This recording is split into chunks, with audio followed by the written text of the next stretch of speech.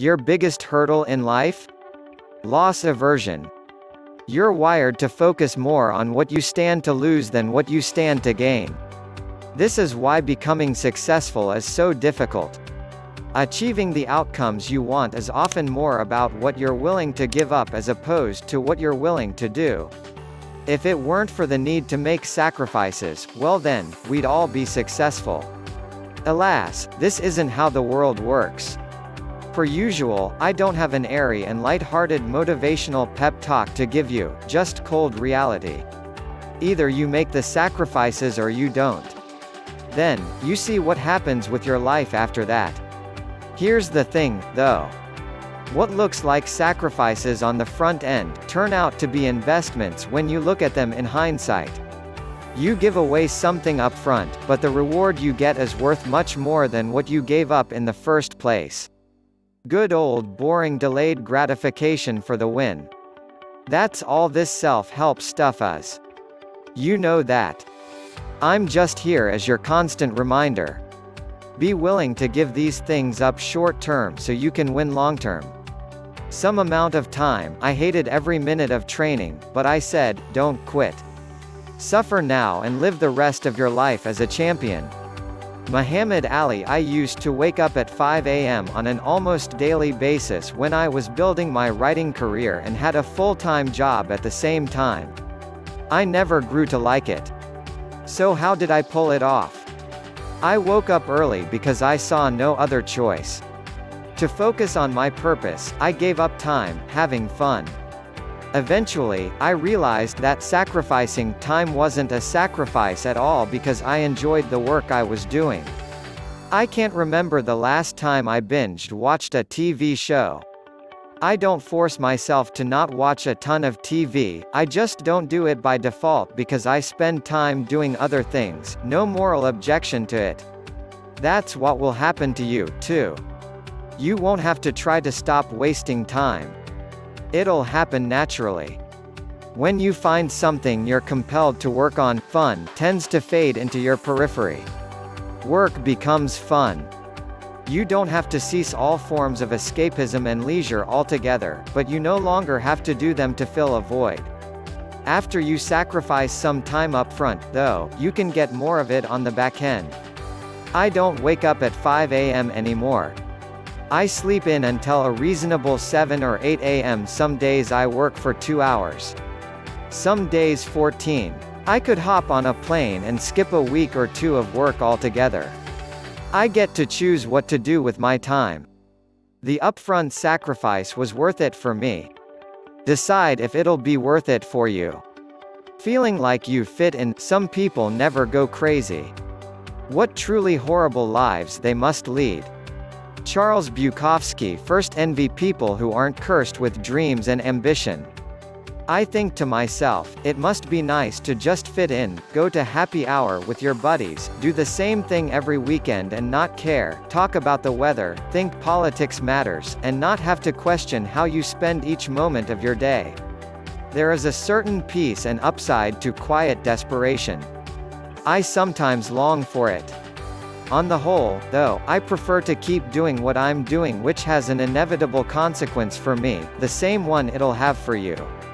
You won't be able to relate to people as well. The more you level up, the more you'll feel like it's obvious that everyone else should.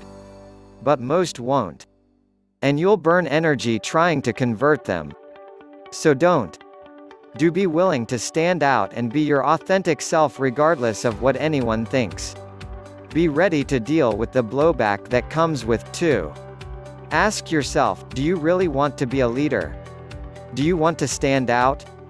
It's up to you. There's a positive consequence of standing out, too. A certain group of people who watch you on the come up will be inspired by you and will gravitate toward you. They won't take you seriously at first, but later they'll want to pick your brain.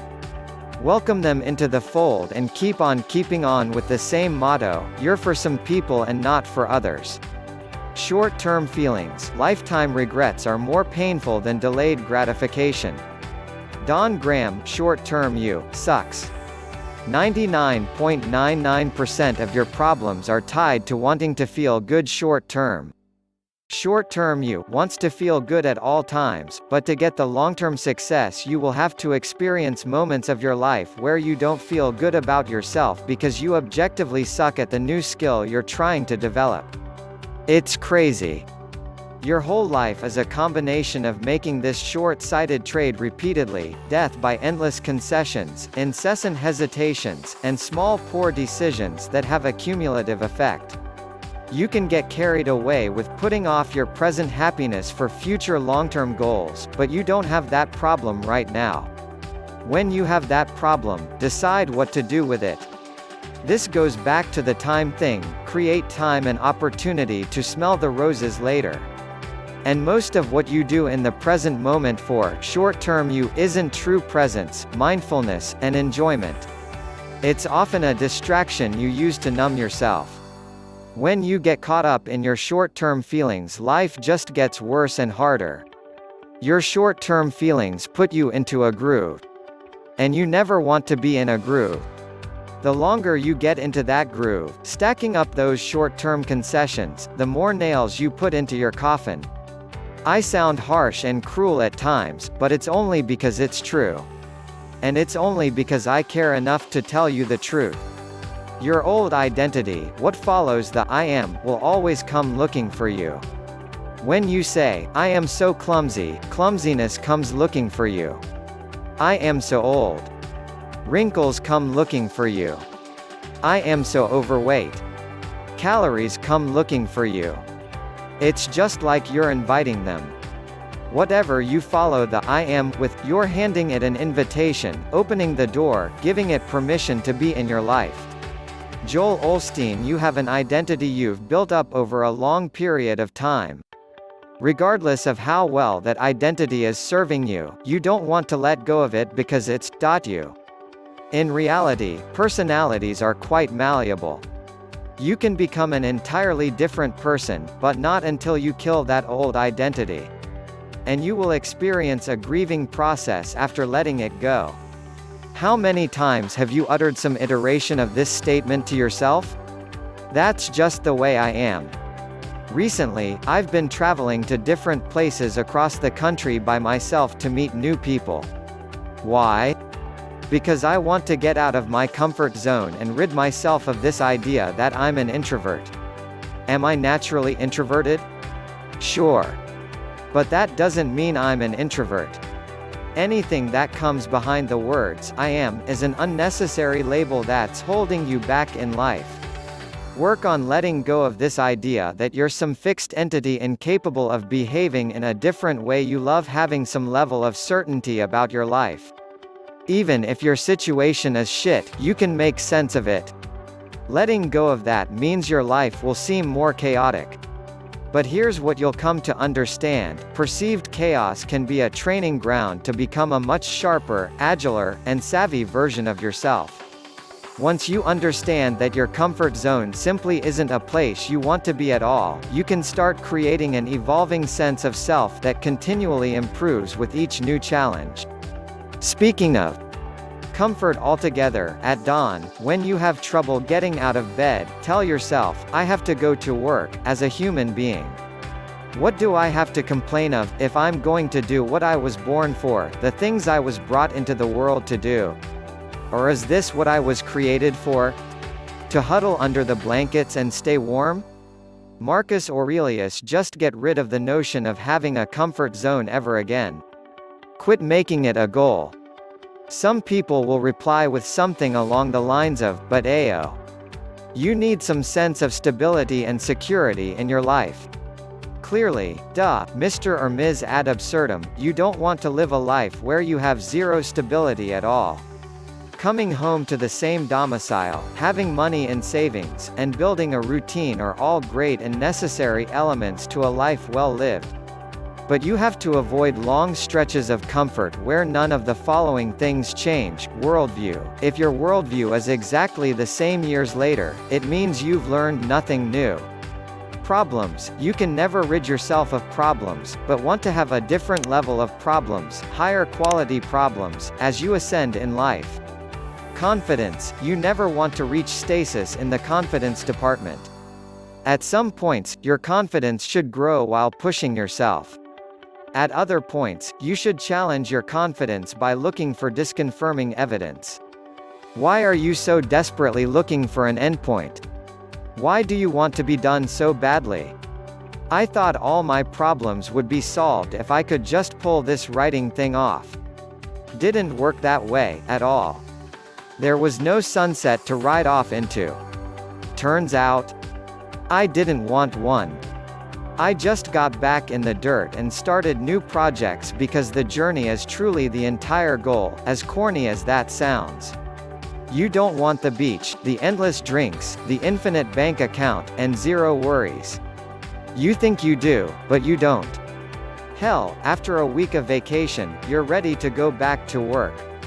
In general, you want to build new projects and skills, from small things like hobbies to huge things like businesses. You want to face challenges that push you but don't kill you, and ultimately look back at your life and say, damn. How did I do that?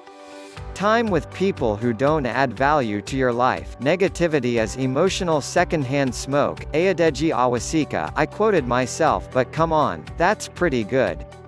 You don't have to cut out 100% of the people in your life who aren't extremely focused, all in on self-improvement, and totally aligned with every single core value you have, but I will say this. The people you choose to have in your life, for better or worse, will have a dramatic impact on your life. Is the goal to become Machiavellian? No. The goal is to take the time to consciously think about the people you have in your life and realize that you're going to have to sacrifice at least some of those relationships that are holding you back.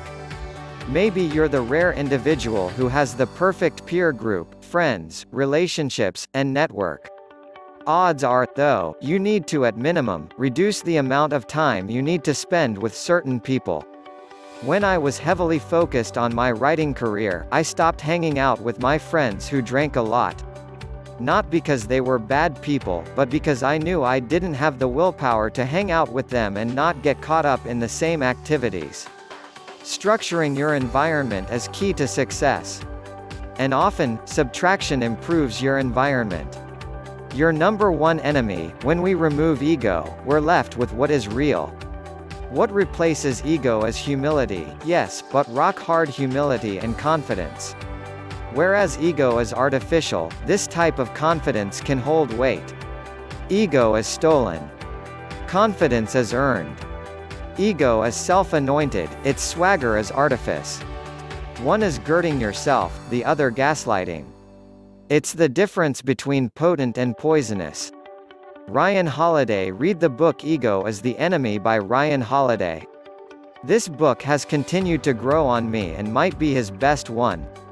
When you think about all the sacrifices required to live a successful life, they all tie back to sacrificing your ego, time, you're afraid to waste time on something that may or may not work, but that's egotistical because you think you're all-knowing and powerful enough to figure out what's a good use of time before trying it. Clearly you're not else you'd have chosen and stuck with something by now. Feeling like you fit in, what gets harmed if you don't fit in?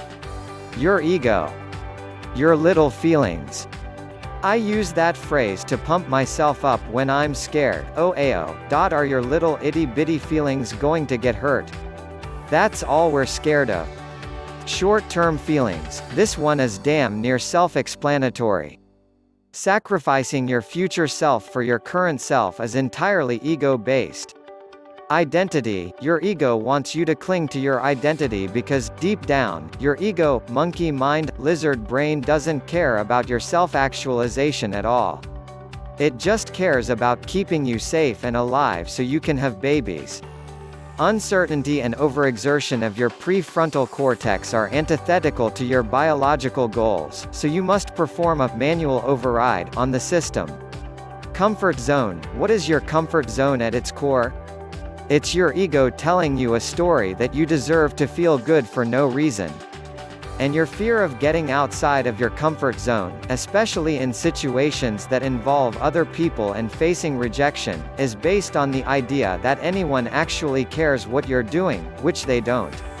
People, your savior complex, built by your ego, makes you think you can save people that can't be saved.